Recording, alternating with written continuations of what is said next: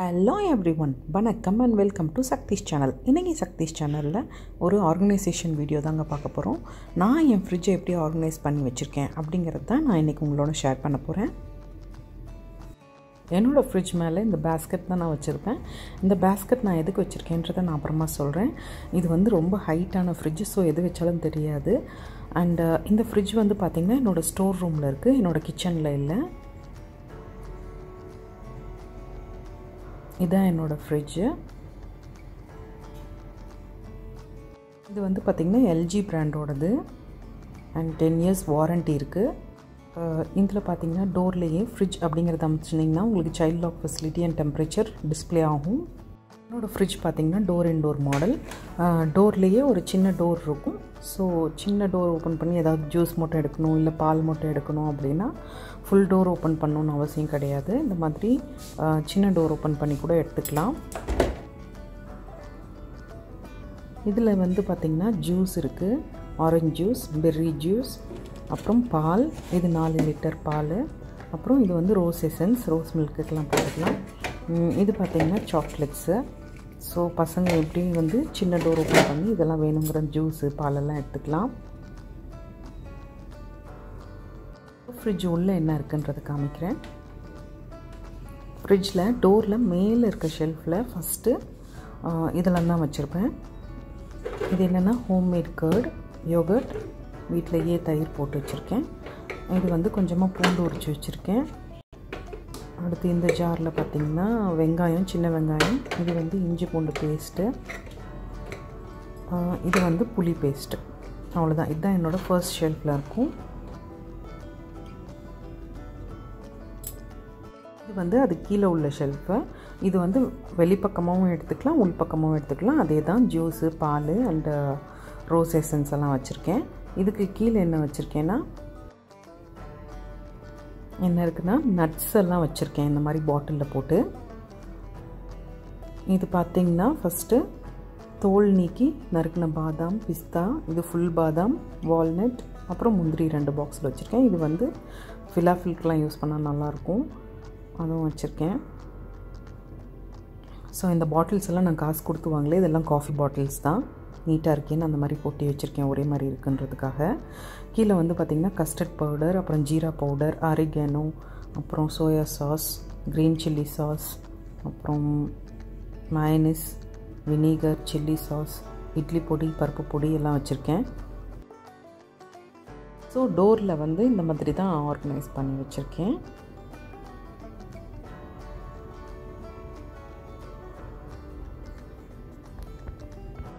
So இது வந்து என்னோடய ஃப்ரிட்ஜ் உள்ள. இந்த மாதிரி தான். இதுலேயும் பார்த்திங்கன்னா மொத்தம் நாலு ரேக்கு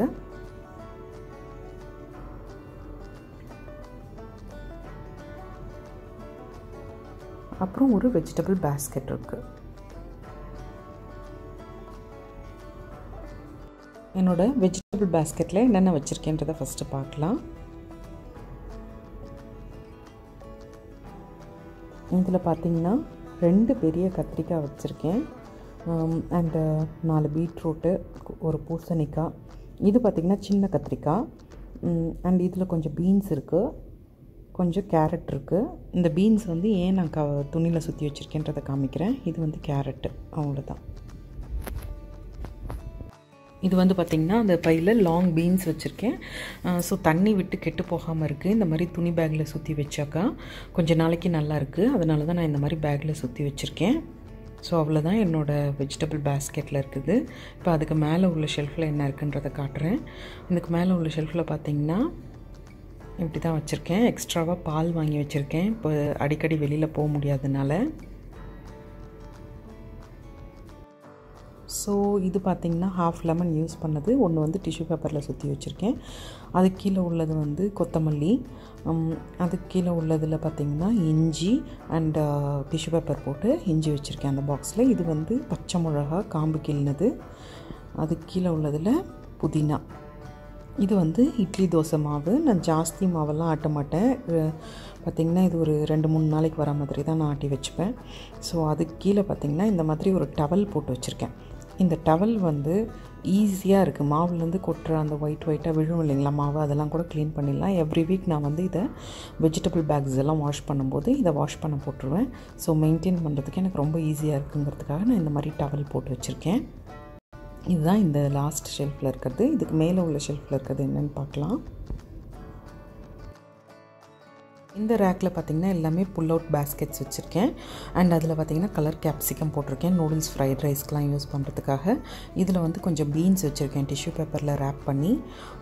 இது வந்து தக்காளி பேஸ்கெட்டு முன்னாடியெல்லாம் அப்படியே தான் போட்டு வச்சுட்டு இருந்தேன் இப்போ வந்து கொஞ்சம் நிறைய தக்காளி வாங்கி ஸ்டோர் பண்ணுறனால இந்த மாதிரி துணி பே பேக்கில் போட்டு ஸ்டோர் பண்ணுறேன் ரொம்ப நாளைக்கு நல்லா வருது. கிட்டத்தட்ட டூ வீக்ஸ் வரைக்குமே நல்லா தான் இருக்குது ஈரம்லாம் வந்து இந்த காட்டன் பேக்ஸ் இழுத்துக்கிறதுனால ரொம்ப ஈஸியாக இருக்குது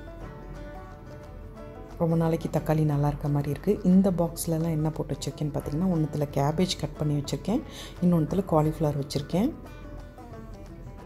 ஸோ அதுக்கு மேலே உள்ளதில் பார்த்திங்கன்னா இந்த மாதிரி ஃப்ளேவர்ட் யோகர்ட்லாம் வச்சுருக்கேன். சாக்லேட் ஃப்ளேவர் அப்புறம் வெண்ணிலா ஃப்ளேவர் அப்புறம் ப்ளூபெரி ஃப்ளேவர்னு இந்த மாதிரி டிரான்ஸ்பரண்ட்டான பேஸ்கெட்டில் போட்டு வச்சா அவங்களுக்கு நல்லா ஈஸியாக தெரியுமே தெரிகிற மாதிரி வச்சா ரொம்ப ஈஸியாக இருக்குங்கிறதுக்காக அந்த மாதிரி போட்டு வச்சுருக்கேன். இது வந்து பார்த்திங்கன்னா சீஸு இது வந்து ப்ரெட்டு சாண்ட்விச்சுக்கு அப்புறம் பீஸாவுக்கு தேவையான சீஸ் எல்லாம் மொசரல்லா அதெல்லாம் வச்சுருக்கேன். இது ரெண்டும் பார்த்திங்கன்னா எக் கண்டெய்னர்ஸ் இந்த கண்டெய்னர்ஸ் ரொம்ப ரொம்ப ஈஸியாக இருக்குது எடுத்துகிட்டு யூஸ் பண்ணிட்டு திரும்பி வைக்கிறதுக்கெல்லாம். அதுக்கு மேலே உள்ள ஷெல்ஃபில் இது வந்து ரொம்ப சில்னஸ் ஜாஸ்தி இருக்க ஏரியா அப்படிங்கிறனால இதில் தேங்காய் வச்சுருக்கேன். அப்புறம் பட்டர் வச்சுருக்கேன். இது வந்து லெபனான் நல்லாயிருக்கும் ரொம்ப ரொட்டியோடலாம் சாப்பிட்றதுக்கு. அண்டு இது வந்து க்ரீம் சீஸு இதெல்லாம் தான் வந்து கொஞ்சம் சில்னஸ் ஜாஸ்தியாக இருக்கிறதுனால இந்த ரேக்கில் வச்சுருக்கேன். ஸோ ஃபுல் ஃப்ரிட்ஜ் என்னோடது இப்படி தான் நான் ஆர்கனைஸ் பண்ணி வச்சுருப்பேன். மோஸ்ட்லி லெஃப்ட் ஓவர்ஸ் இருக்காது. லெஃப்ட் ஓவர்ஸ் இருந்தால் இட்லி மாவு வச்சுருக்க இடத்துல கொஞ்சம் கொஞ்சம் இடம் இருக்குது அங்கே தான் நான் வைப்பேன். மோஸ்ட்லி வச்சுக்க மாட்டேன் லெஃப்ட் ஓவர்ஸ் அப்பப்போ சமைக்கிறது அப்பப்போ காலி ஆகிடும் ஃப்ரிட்ஜ் முடிஞ்சது. ஸோ இப்போ ஃப்ரீசரில் என்னென்ன வச்சுருக்குன்னு பார்க்கலாம். நான் எப்படி ஆர்கனைஸ் பண்ணியிருக்கேன்றதை உங்களுக்கு காட்டுறேன். ஃப்ரீசரில் கண்டிப்பாக இருக்க வேண்டிய ஐட்டம் ஐஸ் க்யூப்ஸ் ஸோ அடுத்து இது வந்து குல்ஃபி ஐஸ்கிரீம் அண்டு uh, இது வந்து பார்த்திங்கன்னா பப்பாயாவை வந்து மிக்சியில் போட்டு அடித்து ஐஸ் க்யூப்ஸ் மாதிரி பண்ணி வச்சுருக்கேன். ஃபேஸ்க்கு போட்டால் ரொம்ப ரொம்ப நல்லாயிருக்கும். Um, ஜஸ்ட் அப்படியே. அண்ட் இது வந்து ஹோம்மேடு லிப் பாம் தான். இது ஒன்றும் இல்லை ஜஸ்ட் ஒரு ஸ்க்ரப்பு ஹனியும் ப்ரௌன் சுகரும் மிக்ஸ் பண்ணி வச்சுருக்கேன். அண்ட் இதுவும் ஹோம்மேடு தான். இது என்னன்னு பார்த்தீங்கன்னா கார்னும் um, க்ரீன் பீஸும் இது வந்து ஆல்ரெடி நம்ம சேனலில் இருக்குது எப்படி வந்து இதை ஃப்ரீஸ் பண்ணி வைக்கிறது? பட்டாணியும் க்ரீன் பீஸும் கார்னும் அப்படின்னு சொல்லிட்டு ஏற்கனவே நான் ஒரு வீடியோ போட்டிருக்கேன். நான் வந்து இந்த டிஸ்கிரிப்ஷன் பாக்ஸில் லிங்க் ஷேர் பண்ணுறேன் உங்களுக்கு வேணால் நீங்கள் போய் செக் பண்ணி பாருங்கள் இது எப்படி செய்கிறதுன்னு இதுக்கு மேலே உள்ள ரேக்கில் என்ன இருக்குதுன்னு பார்த்தீங்கன்னா பன்னீர். இது கடையில் வாங்கின பன்னீர் தான். ஒன்ஸ் பேக்கெட் பிரிச்சுட்டா நான் இந்த மாதிரி பாக்ஸில் போட்டு வச்சுருவேன். இது வந்து கொண்ட கடலை நான் ஊற வச்சு அதுக்கப்புறம் ஃப்ரீஸ் பண்ணிடுவேன். ஸோ எப்போ வேணுமோ எடுத்து டக்குன்னு யூஸ் பண்ணிக்கலாம். அப்பப்போ ஊற வைக்கணும் மறந்துட்டோம் அப்படிங்கிற டென்ஷன்லாம் இருக்காது. டக்குன்னு வேணும் அப்படின்னா எடுத்து யூஸ் பண்ணுறதுக்கு ரெடியாக இருக்கும். அதனால் நான் இந்த மாதிரி கொண்டக்கடலையை ஊற வச்சு பாக்ஸில் போட்டு வச்சுருக்கேன். அடுத்து இது வந்து மஞ்சள் தனியா அண்டு சாம்பார் பொடி சில்லி பவுடர் இது எல்லாமே நான் ஊர்லேருந்து கொண்டு வந்தது தான் அரைச்சி. இதுவும் பார்த்திங்கன்னா குழம்பு தாளிக்கிற வடகம். நான் கொஞ்சம் நிறைய எடுத்துகிட்டு வந்துட்டேன். அதனால் இதையும் ஃப்ரீசரில் வச்சுருக்கேன். கொஞ்சமாக எள் அண்டு இது என்னன்னு பார்த்தீங்கன்னா இது வந்து சாட் மசாலா ஜாஸ்தி யூஸ் ஆகாது. அதனால் நான் வந்து ஃப்ரீசரில் வச்சுருக்கேன். வீணாக போயிடக்கூடாதுன்ட்டு. ஸோ இதெல்லாம் தான் நான் ஃப்ரீசரில் வச்சுருக்கேன்.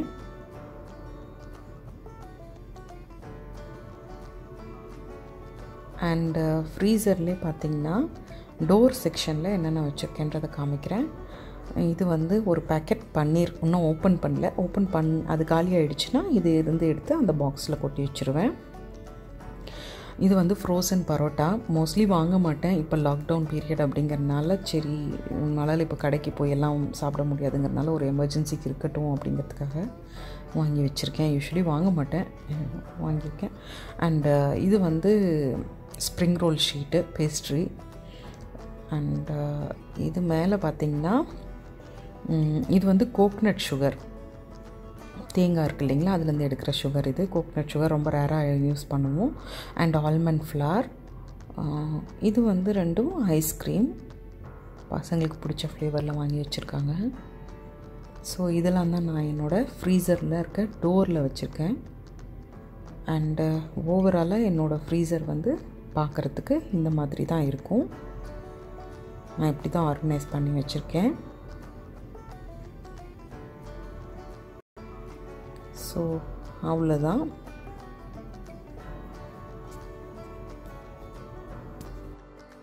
பேஸ்கெட்டை நான் ஏன் ஃப்ரிட்ஜ் மேலே வச்சுருக்கேன்னு பார்த்தீங்கன்னா இந்த ஃப்ரிட்ஜ் வந்து என்னோடய ஸ்டோர் ரூமில் இருக்குது கிச்சனில் இல்லை. ஒரு ஒரு சாமானமாக எடுத்துகிட்டு நம்மளால் போக முடியாது இல்லைங்களா? அதனால் இந்த பேஸ்கெட்டில் எனக்கு என்னென்ன வேணுமோ எல்லாத்தையும் எடுத்து வச்சுருவேன். ஸோ ஒன்று ஒன்றா தூக்கிட்டு போக வேண்டாம் எல்லாத்தையுமே இந்த பேஸ்கெட்டில் மொத்தமாக எனக்கு வேணுங்கிற மாதிரி. வேணுங்கிற எல்லா சாமானத்தையும் வச்சு கேரி பண்ணி எடுத்துகிட்டு போகிறதுக்கு ரொம்ப ஈஸியாக இருக்குது உங்களுக்கும் இது யூஸ்ஃபுல்லாக இருக்கும்னு நினைக்கிறேன். அதே மாதிரி கிச்சன்லேருந்து கொண்டு வந்து திரும்ப வைக்கிறதுக்கும் இது ரொம்ப ரொம்ப ஈஸியாக இருக்குது இந்த பேஸ்கெட் எனக்கு ரொம்ப ஹெல்ப்ஃபுல்லாக இருக்குது இந்த டிப்பை கட்டாயம் உங்களோட ஷேர் பண்ணணும்னு நினச்சேன். அவ்வளோதாங்க இதாங்க என்னோடய ஃப்ரிட்ஜ் ஆர்கனைசேஷன் வீடியோ ஸோ நீங்கள் இன்னும் நம்ம சேனலை சப்ஸ்கிரைப் பண்ணாமல் பார்த்துட்டு இருந்தீங்கன்னா மறக்காமல் சக்தி சேனல் சப்ஸ்கிரைப் பண்ணுங்கள் கூடவே அந்த பெல் ஐக்கானையும் ப்ரெஸ் பண்ணுங்கள் அப்போ தான் நான் போடுற ஒவ்வொரு வீடியோ உங்களை வந்து சேரும். உங்களுக்கு இந்த வீடியோ பிடிச்சிருந்தா எந்த வகையில் யூஸ்ஃபுல்லாக இருக்குன்றதையும் ஷேர் பண்ணுங்கள் இவ்வளோ நேரம் இந்த வீடியோவை பொறுமையாக பார்த்ததுக்கு நன்றி வணக்கம்.